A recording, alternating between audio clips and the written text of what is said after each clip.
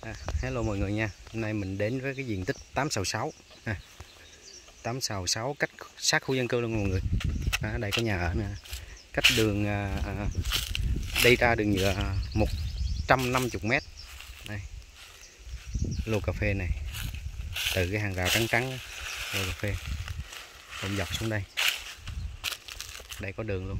Đấy, chạy dọc xuống à, gần gần mép nước đây là con đường giữa ở lô đất này. À, chạy thẳng xuống ra mũi nước luôn. View ha view hồ là ôm thẳng xuống nước luôn nha. Ôm tất cả xuống nước. View rất là đẹp. Lô này cà rất là tốt nha mọi người. Đó. view đỉnh nằm chóp giữa hồ nha mọi người. Nước trong xanh cực kỳ đẹp phù hợp làm cho à, mình làm nhà vườn nghỉ dưỡng nè. À, làm homestay.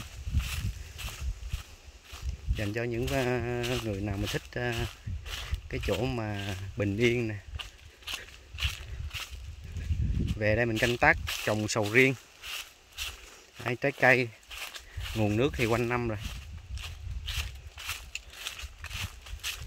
View rất là đẹp ha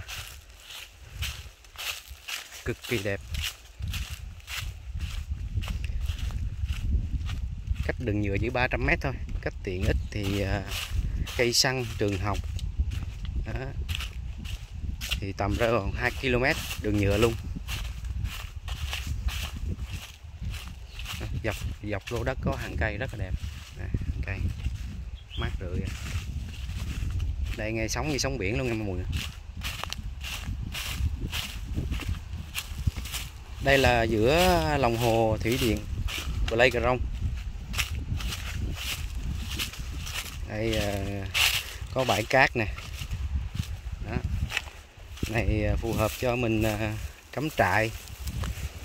Đấy, đây có bãi cát. Đó, nước đánh sóng như sóng biển luôn. Rất là đẹp ha. Sát mặt nước mênh mông đây lô đất này.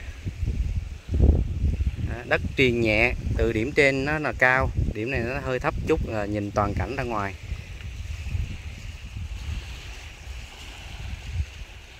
Diện tích là 866 nha mọi người. À, giá rất là hợp lý luôn. Đầu tư ờ, để đó cũng tốt.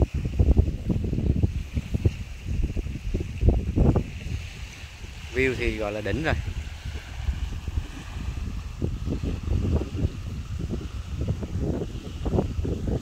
Đối diện đây là khu vực à, thị trấn đất hà nha mọi người. Đó. thị trấn đất hà là phía trước mặt đó. Đây có một con đường đò đi sang, rất là gần.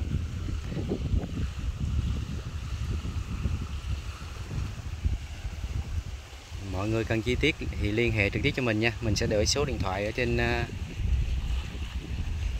kênh của mình. Giá mình cũng để trên đó luôn. Quá đẹp luôn mọi người ơi mình đi ra sát mép nước cho mọi người coi.